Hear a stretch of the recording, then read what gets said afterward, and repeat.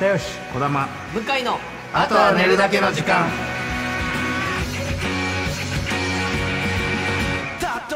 こんばんはピース又吉です。サルゴリラ児玉です。パンサー向井ですさあ始まりましたあと？は寝るだけの時間いいはい加減にしませんか、そろそろ絶対待ってさ今のはもうしょうがないですね笑ってましたもんねもごめんねういやほんまごめん本当にいやいいんですよこの番組の良さが仕事をしてないっていうこと？が皆さん良さだと？するんであればいいんですけども楽しくなっちゃって始まる前から。そう一応こう喋り出す時にやっぱ合図をくれるんですよね、はいはい。作家さんが、はいこう手で「どうぞ」みたいな、はい。でそれをなんかまず、まあ、仕掛けたのはでもちょっと児玉さんってとこもあるかなとは思うんですけど。さんが最初にやってたよ。なんかその、うん。作家さんが「どうぞ」って言う前になんかやってませんでした？児玉さんが又吉さんにちょうん。フェイントじゃないですけど、ちょっと早めに出した早めに振るみたいあれ気になったなだいぶ。ながあり、でなんかその後なんかちょちょっと待ってくださいみたいな。今まだ喋んなくていいですよっていうその作家さんの合図、はい。ストップみたいな。はい。それをなんか3人でやって。みんなでやって。みんなでやって。どうぞって一気にやったら笑っちゃったっていう。笑っちゃったね。なんかなんていうの？それがめちゃくちゃおもろかったわけじゃなくて、はいはい。何も起こらなすぎて笑っちゃった。なんか普通みんなではいはい芸人が3人とさ、はい。作家さんがね、はい。揃って4人でうん。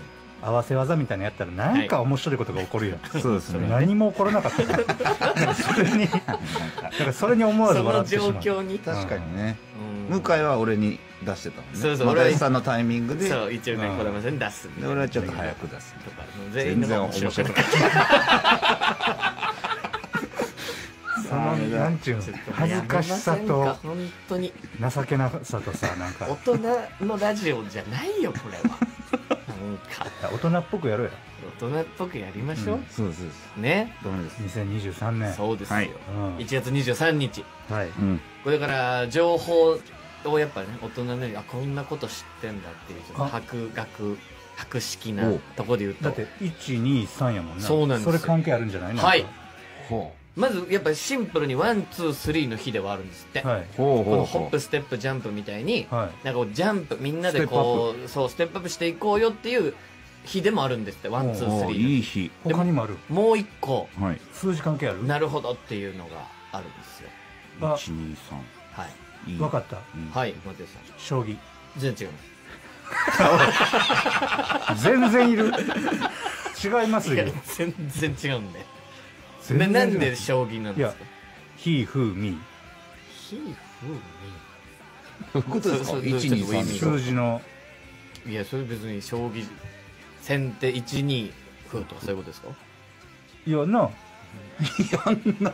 あのひふみさん、うん。あとか。あいやとかっていうかその 将棋棋士の方ね。だから空手とか柔道とかそっちじゃないか？違うんですよ。違うんだ。ワッツワッツさんワッサンワッサンクロワッサン。全然違いますマジであマジで違う。語呂合わせ系や。ほうほうほいい兄さんや。ううん？いい兄さんや。だから11月23日。そうだよ。いいじゃないですもん。あほんまや。これなんて低レベルな オープニングと。何 何？記述マジックの日手品の日みたいなことですスリーと。ねワンツースリーあでなるほどな。こうなんかし手品みたいな。ちょっと遠すぎない？いやでもおしゃれじゃない？意外とねああなるほどってなりますよね。3月21日でもよかったんかな。まあ3、2、2 1だよでもいいけど、うん。それでもさ俺が決めたわけじゃないんだよ。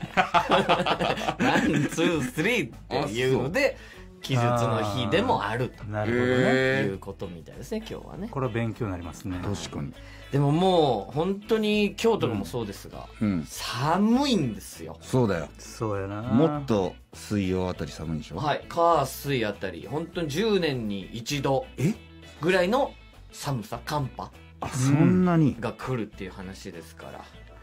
いよいよ来たか。そうですよ。雪もねもちろん降るかもしれないとかねいろいろ。今朝もちょっと降ってました東京。らしいですね。僕はちょっと見れてないというか、あー見てない。あ降ったんですか？ちょっと降ってたな。降ってたような気がする。え？ゴミを出しに行ったの。よあはいはい、はい。その時になんかえ？降ってたような気がする。いやいやいや雪降ってたらわかるあ雪だってなるんでえ雨か微妙だったってことですか地面はちょっと濡れてたのよ雨ですねで俺雪ちゃうかと思ってんけど、うんやっぱ眠たかったのもあって、うんちゃんと確認してへんかったえ目では見たのなんか落ちてきてるの。何かは降ってた。ちょっとは降ってた。だけど雪ちゃんこんだけ寒かったら雪ちゃうかって思ったんやけど確認はしてない。嫌な情報。嫌な情報。だね本当に。朝コーヒーを注文したのよ。はいはい、はいい、いですね。ね、うん。で家に届いたうん。その袋にうん。店員さんがなんかメッセージ書いてくれたりするやん。はいはいはい。そこに「今日は寒いですね。雪が降りそうです」って書いてたの。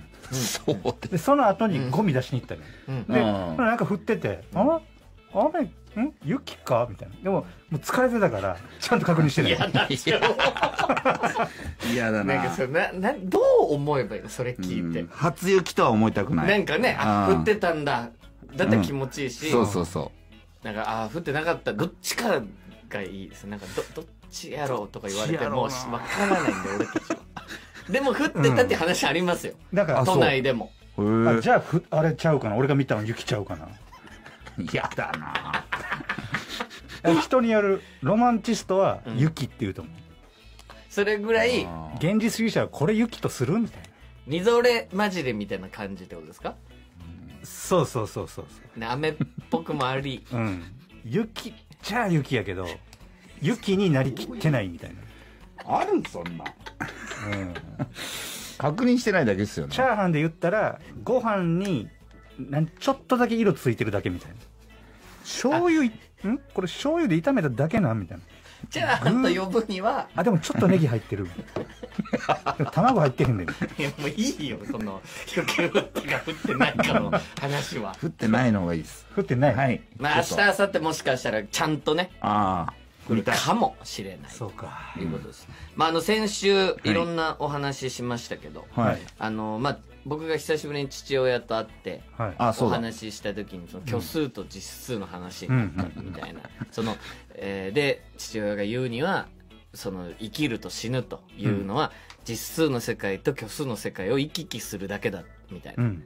だから別にそんなに死ぬとこまあそんなもんなんだなと思うんだな俺はみたいな話をしてたと。はい。う話をしたんですけど、はいはいはいそれを受けて、うん。はい。えー長野県60代ホットカーペットさんはいうん。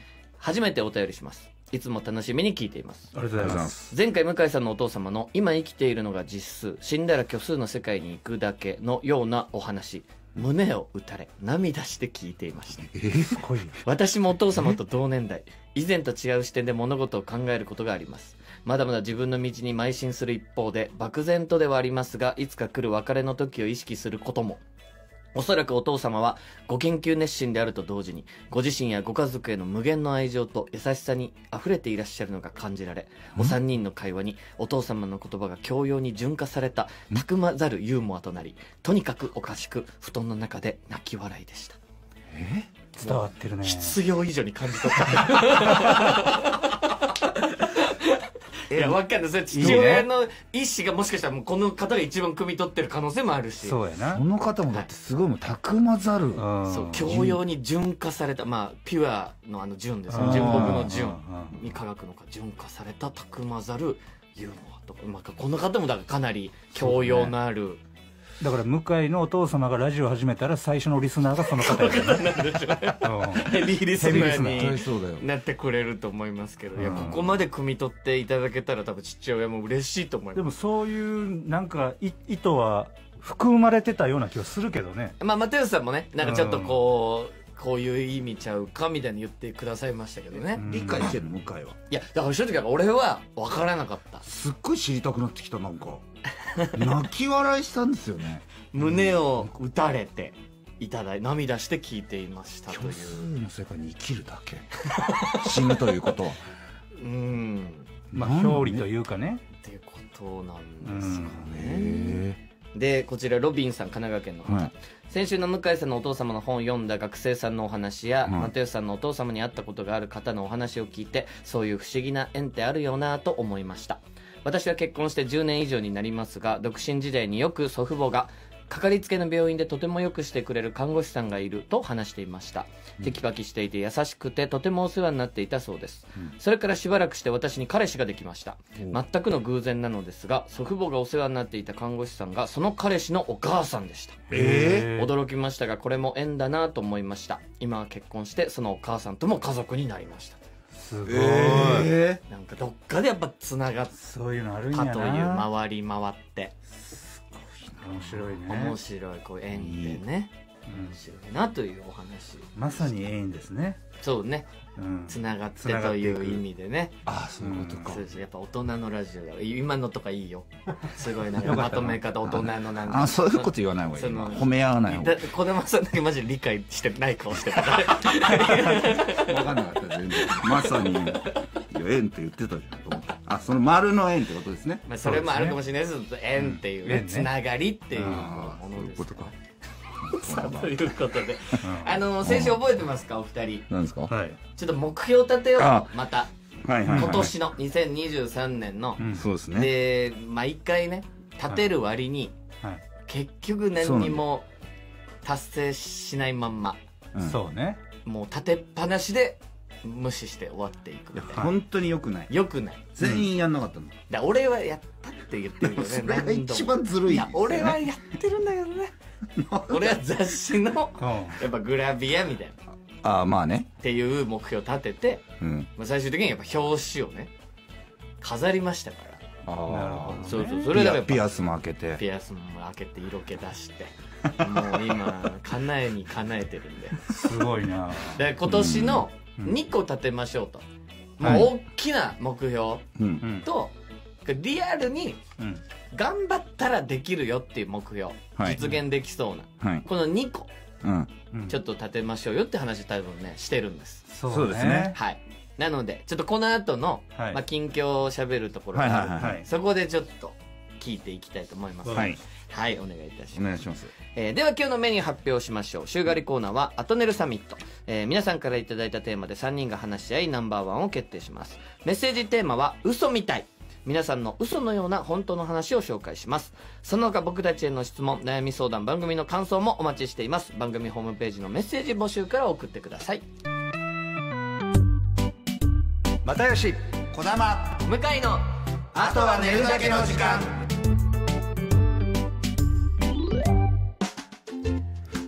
えーここからはい。お話しするんですがちょっと一つ、はいはい。あのー訂正を謝罪をさせていただきたい何何？今数秒で何をえーオープニングで喋ったはい技術の日はいの話なんですけど、うん。12月3日の全然ちゃうね なんだ？すいませんone two three ということだけ頭にあって。大人の知識を今からとか言ってましたよねこいつ。うん。切るところが違いました。123なんですけど、うん。1月23ではなく12月3日のえー間違いでした。奇術を見せられたかのようなな。あ大人でもさ。さあじゃないのよ。でもな。それ向井悪ないわ。えいいですごめんなさい。ありがとうございます、どういうことですか？12月3日ははい123じゃないもん。なんかあうん。まあ俺はいやいいちょっとうんこんなことなんでですか？へへりくつ言いたくないけど、あはい。それは123やもんいやちょっと待ってください。そしたらけ1月23って123です。ほら123に近いよ。123は123に近い。123はもう123いやいや全然違う。20って言ってるもん。1231020 123よ。123よ。向井ガチ勢がいてくれるおかげで助かりますね。助けてくれるから。123はあかんやんその理論のと12 123だ。ダメだよ。え？ダメじゃん。いや近いじゃダメだ123ほら。そまあ音としてはね。123全然ちゃうよ。ありがとうございます。技術の日は1月23 23日で日です。すここで。この番組では変えちゃったじゃん。この番組ではそうさせていただあーこのきます番組ではね。すいません。目標。目標ね。はい。です。どうしましょうね。これどう発表していきましょうか。一人ずつ。はいはいはい。うん。じゃあ僕からはい。はい。いいですか、はい。どっちから？大きい。大きいのじゃあ言い言おうよ。からいきましょうか、うんは、うん。ちょっと去年はい。のやっぱ年末家で久しぶりに「紅白歌合戦」見てちょっと携わりたいなと思ったんですよ。一回は。すごいぞ。それはいろんな形で出るじゃないですか芸人さんが、うん。でそれは歌で出る人ももちろんいましたよ去年だったら有吉さんとか、はい。ダチョウ倶楽部さんとか、はまあ、それは難しいにしても、例えば同期のチョコプラとかがなんか裏実況うんみたいな副音声で出たりとか、なんかこう例えば中山きんに君さんとかうん。がちょっとこうポイントで出てくるとか。うん。バナナマンさんも。とかも過去にやってらっしゃったり、はい。それこそ又吉さんは？審査員で審査一度員でね。はい。そうだ。それはすごいですけど。私も又吉さんが審査員の時に。それババーターはもう。そうバーターの話はいいです。後ろで後ろにいたとかはいい、言いましたよ。映ってました。でやっぱり、うん。あ一回はなんかうん。それこそ父親とかもまあ喜ぶだろうなというかね国民的。それすごい目標やな。そうでしょ？ううん。だから叶わないっていうかまあでかい目標として、うん。何かしらで「紅白」に携わる。すごい。すごいって。俺この後よう言わん。わ 最初に言うなよそういうこと。いやじゃあ言えよ何か。わかんない。そうみんなの大きさ規模は知った。どうする？やめましょうやめようよ。いや。それどっち？何が？実現。これしないやつしないっていうかあのそう大きいやつね。大きい方ね。あだから大きいからいいでしょ？うん。うん。俺いいいいっすか？いいよ。俺はもうほんでもいいっぱい出てきちゃったのよ。おーいいですよ、まあまあいつも言ってますけど、うん。まあコントで優勝あまあまあそれはねあずそれね。っと去年から。これはもう絶対、はい。うん、でもう一個が、うん。えー、映画かおうドラマほう。んに出る。うなるほど。お芝居系。ああ、はいはい。それでもいい目標じゃない？いい。そうです。あの演劇は正直一本決まってるそれはなしでおお映画ドラマとか映像系。それ以外で映像系とかお芝居系を。決まってんの？あのお芝居はねおーもうもうそれもすごいですけど、それを出る。なるほど。レギュラー出演なのかあそれは分かりません。それどっちでもいいってこと？どっちでもいいです。なるほどなるほど、うん。出たい。うん。いやでもそれも確かに本当？すごいいい。となるほどね。うん。マテさんですか？でっかい。でっかいのは、はい。あのー車の免許 いやちょっとちょっとちょっとい。いやそれはそれ去年できなかったですよ。繰り下げにしてもらっていいですかそうですよちっちゃい方と違うねこれ言ったっけなんですか、俺ねう何年か前からゾンビのドラマとかをうんすごい見るようになって、うんうんうんハマってずっと見てたんだよ、んうんでゾンビってさ、はいこう家に来てさう、うんんでギリギリでその登場人物が部屋から脱出してな、うんで車に乗り込むやんか、うん。で鍵さしてさ、うん。キリリリリキリリリリってやってさ、なかなかつかへんみたいな、はいはい。でようやくエンジンなんとかついて、うん。ガーって走り出す、ん。あのシーンあるよ、あるよ。うん。いっつも、俺やったらここで死んでんねやなと思う。いやそうし分かんないからね。やり方が。うん。免許持ってないから、うんそうだよそうだよ。で俺免許持ってへんから、うん。差し込むとこも分からへんし、うん。で差し込んでエンジン仮にかかったとしてもそこからどうするか分からへんから。多分かけられないと思う。ようん。だってうん。一個動作いるからかける前に。そうやろ、うん。ゾンビその間にうん寄ってくるやん車に、うん。めっちゃ来てさ、うん。完全ゾンビだけじゃなくて、うん。まだちょっと人間の感覚残ってるやつゾンビおったとしたら、うん。こいつなんで走り出さへんねやろと思って こいつ何してんいやねやろ思うだろうね。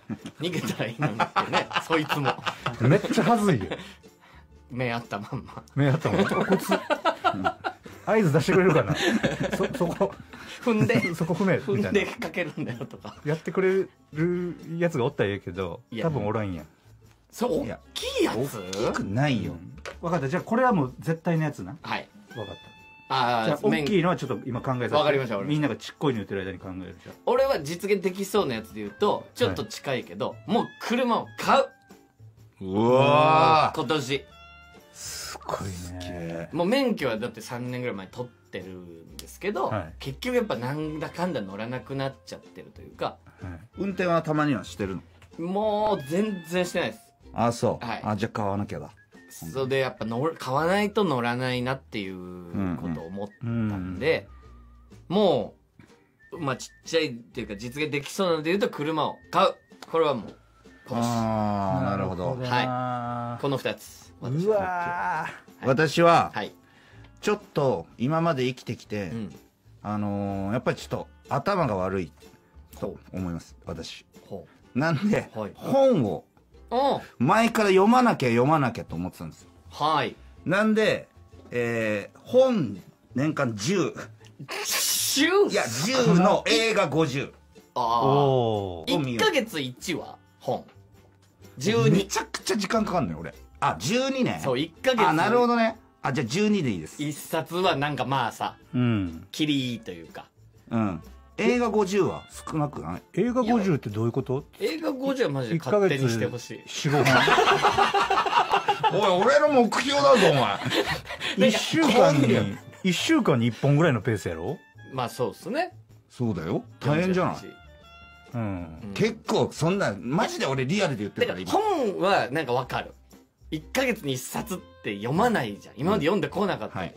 でそれが10冊なんて1ヶ月もかからんよ。それはあなたはそうよ。ね。いやそそれが何？ずっと本で。できる目標？ちっちゃい目標。あとまだ一般の、えー、67キロ。あ体重。体重問題ね。あ健康管理ね。あこれは確かに。これでもみんなそうじゃない、うん。うん。それはある67キロとあと人間ドック。ああ、うん。健康。健康1回は行って年一。うんうんうん。この3つ。なるほどね。どれかはだからまあ、まあ、全部やるつもりで、全部やるつもり。どう？あいいと思います。俺はじゃあ大きいやつだよもう待ってね。免許取るはもうちっちゃいやつだそれちっこいの？もうそれ実現いやできるもん。やろうと思ったら。なるほどね。誰もが誰もがうまいっていううんカレーを作る。ちょっとやめてよ。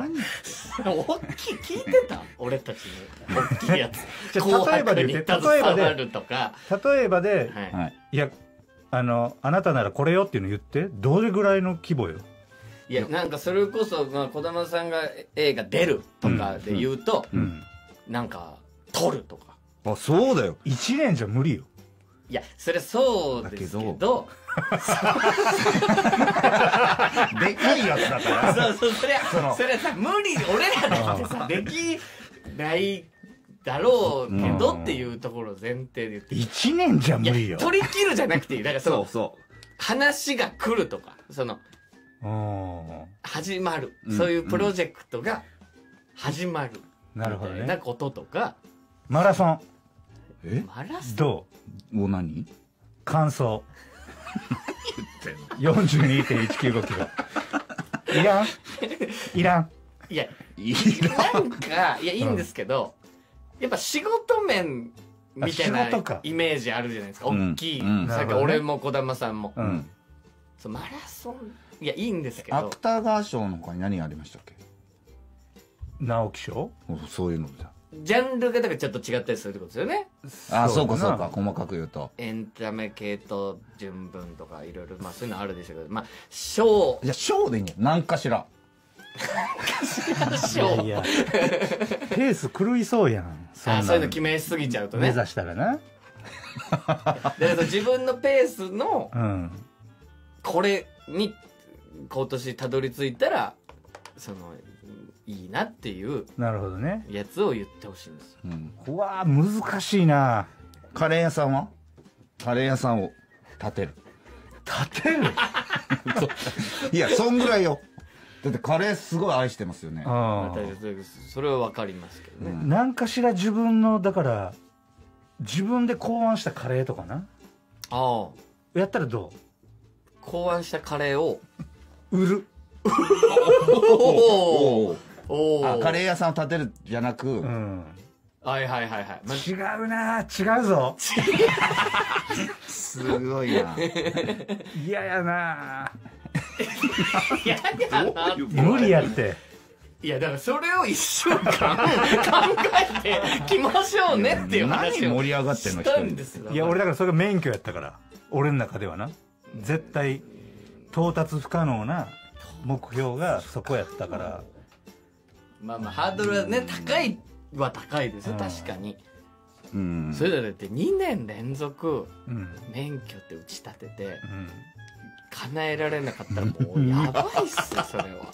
逆に言うともうここでそれ立てちゃったら、もうマジで、まあ、後がないと思ってくださいねじゃ確かあこれで失敗したらってこと？はい、うん、2年連続それで言ってんですから、ちょでも2人が納得してないからちょっと、にうん。あの引き続き考えさせて。なんでだ。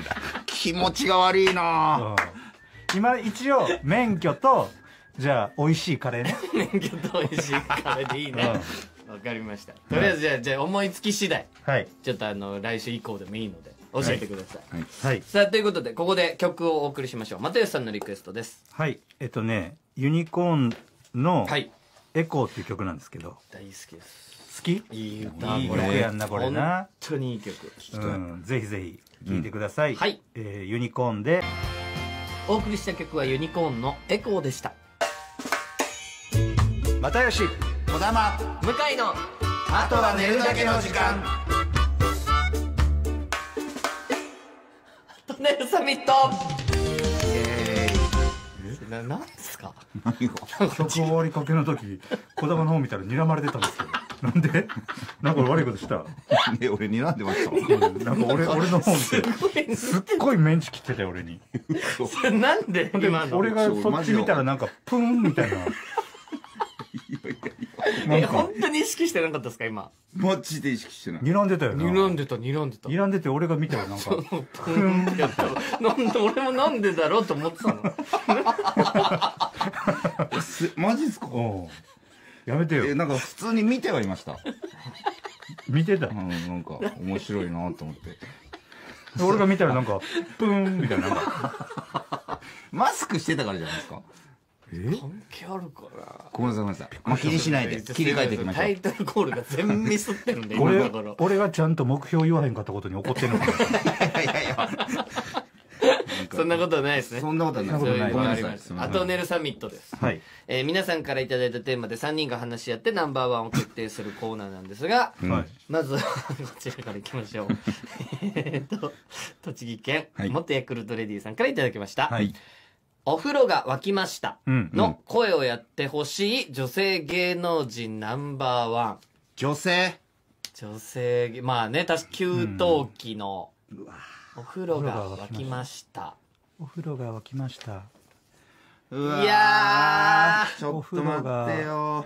どういうベクトルでいくかもあるよねそれはね。あの今うん。現存のやつに近いで選ぶのかうんなんかこの人にやってもらったらなんか違う感じでまた良さそうだなで選ぶそっちじゃないのかであそっち？後者じゃない？後者、ううん。んな気する。やっぱ近いの選んでもね。なるほどね。うわうわうわうわうわわうわ。え家のやんな？そうですね。まあ一応家で聞くことが一番多いですもんね、うわむずっなんか声でもあの声ってさなんかドキッとせん。ちょっと怖いなんかはいはいはい。無機強強すぎて、はいはいはいうんわかります。だからいろんな方向性優しい。もあるし楽しいもあるよね。絶対いるんだよな。いそうだよね。思いつきたい。いいとこ行きたいね。うん。ううわ誰ーだ？誰だ？本当に。なんか俺はこれでチャレンジしたいっていうかなんか5人ストックできて日によって変えれるならこれひ絶対ここの方は入れたいの方入れたいっっていう人はいますね。まあ一人俺も浮かんでます。え本当？けどちょっちょっととまだいるんじゃないかと思って。るいやいろんなパターンあるで。そうっすよね、確かにいろんなパターンある。そうっすよね。うんうんうんうんうんうん。うわーちょっと待って。うん。うわあるよ。ーもうずー。パあッと出てこないぞきました。ーまあお風呂だもんおね風呂が沸きました。うん。楽しい時間なおおなんか向井が調校してますね。ちょっとマジでね、うん。こういう人がいいなっていうのはあるけど、うん。それに当てはまる人がうん。もう俺思いついてた人ともう一人出てきてしまったわこんな時間あるから。あ俺も俺も出ちゃった。あーどうしよう。ああもう選べないよ。ちょっと待って待って待ってマジで出てこない。もあうしょう。もう一人いたな。あもう一人いた？違うパターンで一人出ました。ーちょっと行く？だ一か八かで。はいはいはいはい。いきます。はい、はい。せーの。吉田美和さん。綾瀬はるかさん。お？え？俺綾瀬はるかさあいいですね。んうん。いやいいよ。いやわかる。ど,、ま、ど真ん中すぎるよね、うん。俺はそれはうん。うんと思ってる。僕はユーミンさん。ああーいいですね。なるほどね。あのあでもうん。同じ発想かな、声はい。吉田美和さん。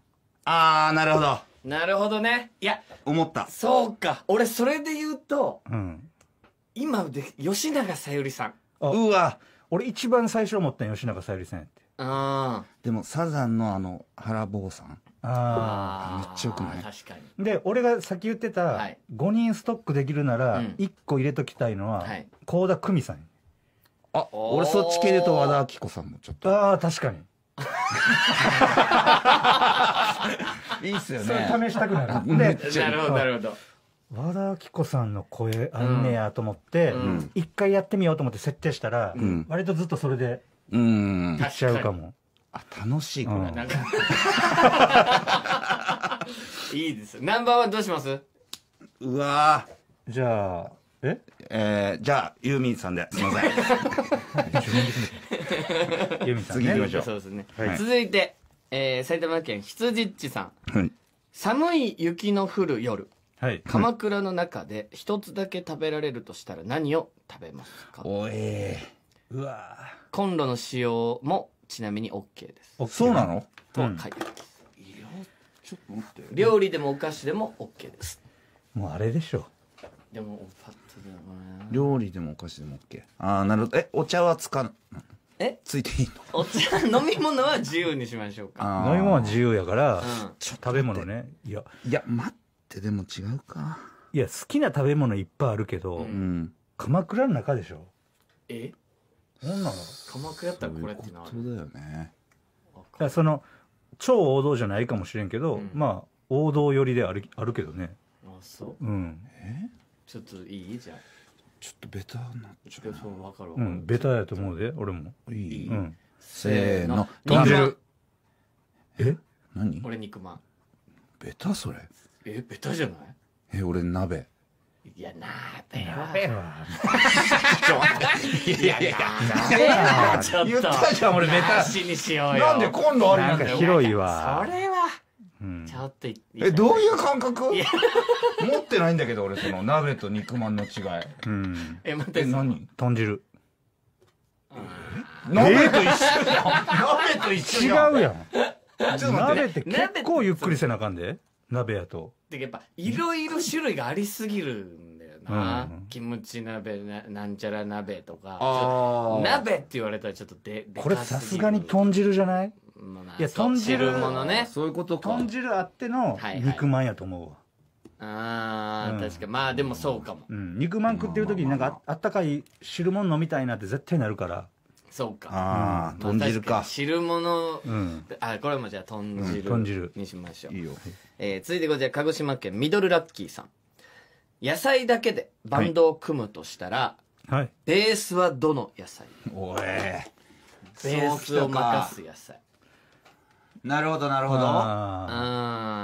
どういうバンドななのそれは。ロックバンドでいいの？いや考え方。だからやっぱりボーカルは花があ花る形野菜になるよね。とかそういうことだじゃない。で言うとベースにちょっと縁の下の力持ちみたいな感じ、そんな。渋いやんなでも、まあちょっとドラムとベースはやっぱリズム体、うん。支えるみたいなね。うん。でもドラムより地味かもね。さらに。かんないけど。んイメージはね。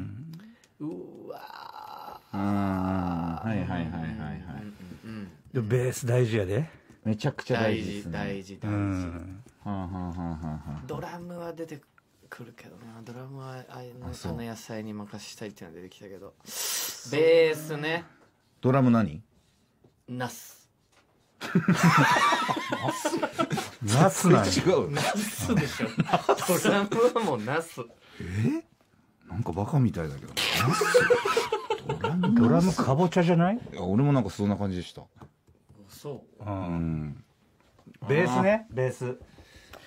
うわ二つやベース。うわ。あでもこれやな。うん。あ来た、うん。いい？はい。せーの大大根根俺俺ピーマン。大根。大根はないな。何なんだよ。なんで俺だけ言うんだ。大根はないわ。じゃあなんだよニラ。あねえよ。嘘 ニラは軽いよ。ニラはちょベトリッキーすぎます。いや軽いーって。スってやっぱ重低音だからそうそうそうそう。重み。じゃあ大根じゃん。いやでも料理の中入った時の味の感じ想像してよニラ。ニラはもっととなんかキーボードとかちょっとなんか、じゃあパーカッションとか、そうそうそう、トリッキーんですよ。ああじゃあピでーマン？やっぱ大根はやっぱちょっと和和な名前が。和太鼓や。そう。和太 そういうのも入れんの？ちょっとやっぱメンバー、ロックバンドとすると、美味しいよ。美味しいもちろん。美味しいけど、うん。なるほど。うん。ちょっと和が強いわ。名前が。そういうこともメンバー紹介の時に「入れんのね。大根」って言われてもそう。いや、ピーマンは、俺は思ったけど、なんか名前ダサいなと思ったの。ピーマンって。でもやっぱこう苦味あとかあ、まあね、もそういう面では思ったのよ。ベーシストのそうね、癖っぽい感じ、うん。まあ、でもニラも癖自体はあるで。やっぱ軽いんですよね、うん。ちょっニラのと軽い。大根はでもないわ。いやニラがないわ。大根はもう和楽器の。楽器バンドあのニラって、乾燥中に大量器を振り回すタイプの。よくわかんないじゃ船が出るぞから歌い始める。ブラジルの潰し。なんか変な楽器だわ、ニラは。変な音が鳴る。ピ。ーマンでいいですね。和太鼓に刺す明かり当たって。変な。どうやってこれ弾くんだよ、みピーマたいな。ンでいいねニラは。もうその別に回を決めるゲームじゃないんで。一位を決める。いやいやまあじゃあピーマンでいい、ね、あピーマンピーマンピーマンね。絶対ピーマンやはいということでこんな感じでナンバーワンを決めてほしいテーマを送ってきてください。以上アトネルサミットでした。さあここからは皆さんから届いたメール紹介していきましょう。メッセージテーマは嘘みたいです。面白そう。えー広島の乃木ひださんからいただきました。はい。大学生の時に見た嘘みたいな話です講義を受けようと席に座っていると真っ赤なバラの大きな花束を持った男性が前の席に座りました。そして講義後男性が隣に座っていた女性に花束を差し出しながらへずっと好きでしたと言いました。漫画みたいな告白のシチュエーションとなんで今みたいなタイミングについつい成り行きを凝視してしまいました。女性はだからそういうの迷惑なんですと言って去っていきました。だからってことは何回かあったんかな。何回かあったんですねまるで漫画みたいな振られ方。いたたまれず私は次の講義に行ってしまったのでその後男性がバラの花束をどうしたか分かりませんが今その男性が幸せであることを願ってやみません。ちょっといろいろ気になりますよね。その、だからっていう、何度か。だし、え講義が終わるまで、え、待ってたってことですか？持ってたんやろな。そういうことですよね。隣で。あれ誰に渡すんやろって誰もが思ってたし そのもらう方は過去にもあったんやったら絶対私やってな。思いながらやってただろうしね、うん。下手だいやなこれぐらい大振りする時ってやっぱりね確実にいける時じゃないとしないじゃないですか、うん。もそうだね。確実にいけると思ってもしないですけど、うん。だけどなんか雑誌で読んだんやけど、うん告白って3回目ぐらいが一番受け入れてもらいやすいらしいで。だから最初断られたら終わりじゃないらしいで。なんかそれも聞いたことあるわその話。信用できる？どうなっていくってことなんですかね。なんか女性でよく聞きますよ結婚した人の話でも、うん。もう何回も断ってたけど結果何回目かに折れてうん、で結婚したらすごい幸せですこの人でよかったですってなりましたみたいな話ね。うん、へー。1回目はだから気持ちを伝えるそこがスタートらしいで。はでそれは気持ち伝えた時点で相手が好きじゃないのは当たり前やと。はいはいはいはい。でそっから始まるんやみたい向こうが意識し始めるというか、なうん、そういうふうに思ってくれてるんだってなってからがうん、いやでもまあ聞いた話やけどな。ほんまかと思いながら聞いてたん絶対無理でしょだって又吉さん。無理無理無理。そんな何回もチャレンジ絶対無理。なんて1回で、でダメだったらもうん、0.8で。1行く前に。感触確かめあ。ながらの、なんとなくね。ちゃうんかなーって言って告白し始めるから。めっちゃわかるけちゃどうんかなちゃうかったらあれやなーとか言って。で何も向こうが「どうしたん?」とか言ってくれへんかったらもう引き下がる。終わり。0.8 いやこれはまあねそういう話もこれぐらい大胆にいける人がいいって話もあるというねうん。ことなんですそうね。はい。えー続いて千葉県ミナティさん。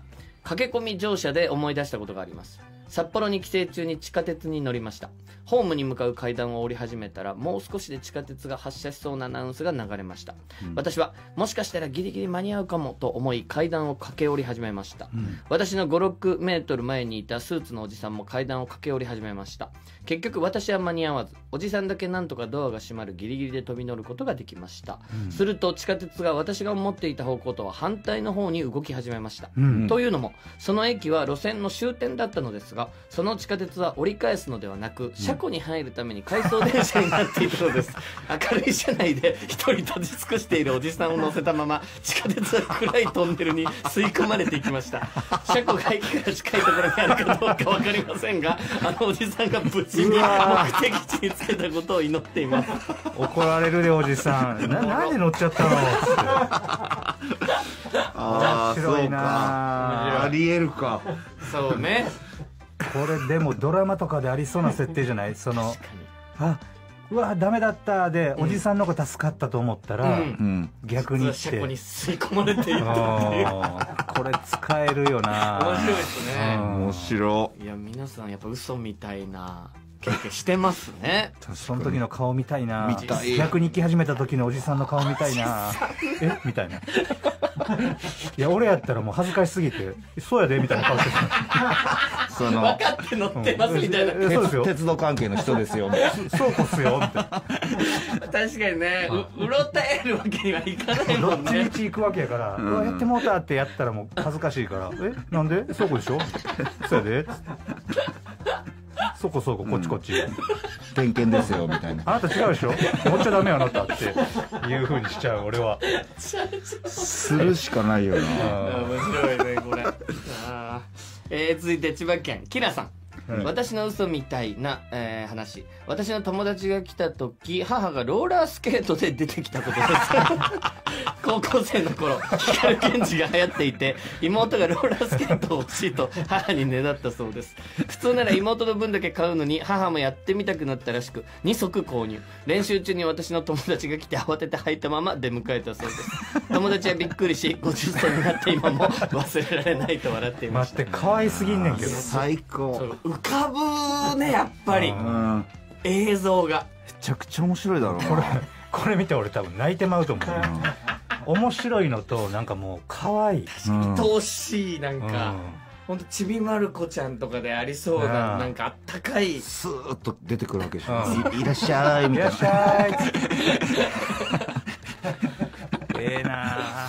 いいね。味わい深いな、うんえーラスト大阪府優作さん。先週メッセージ募集の際向井さんがおっしゃった例が駆け込み電車をするお坊さんを見ただったので思い出したことが2つあります、一つが我が家に法事に来てくれたお坊さんの車のナンバーが7676これはナムナムなのかと思いましたが シリアスな空気を読んで聞くことができずじまいでした もう一つが宝くじを購入するお坊さんを見たことです。いや別に構わないんですけど せめて私服で買いに来ればいいのにと思ってしまいました。ああなるほど。確かにね。煩悩丸出しみたいな。いいんですけどね。うん。もちろんねいや面白いテーマでしたね。面白い。うん面白い。皆さんありがとうございました。ありがとうございます、ということでお別れの時間です。今日の放送をもう一度聞きたいという皆さんにお知らせです。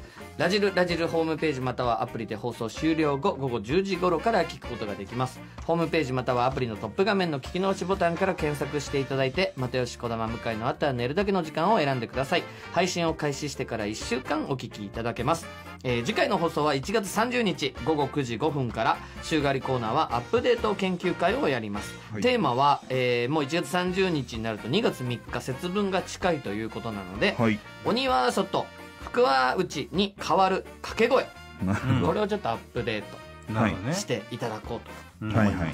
えーどんなものでも OK ですので自由にアップデートしていただきたいと思います、はい。そしてメッセージテーマは「私の勝負飯元気飯」うん。はい、皆さんがここぞという時に食べる勝負飯またはあーこれを食べると元気が出るぞという元気飯を教えてください。